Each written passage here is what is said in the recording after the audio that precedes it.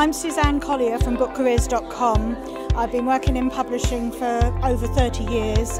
I've worked for both publishers, but I'm also a qualified careers advisor as well. I'm here today because it, inclusivity is really important to me because I'm one of the very few people that left school at 16 and was given opportunities in book publishing which sadly aren't available today.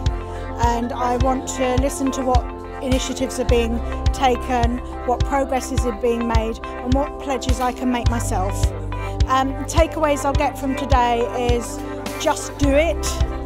That don't you know don't think about doing it tomorrow. Just go away today and take action.